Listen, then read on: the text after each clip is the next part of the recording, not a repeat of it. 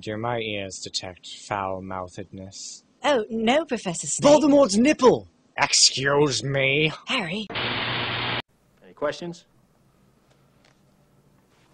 Yeah, I got a question.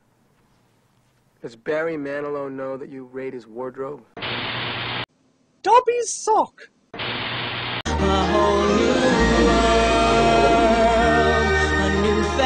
Fantastic point of view. No one to tell us no, or where to go, or say we're only dreaming. A whole new world, a dazzling place I never knew. But when I'm way up here, it's crystal clear that now I'm in a whole new world. Oh, unicorn turds.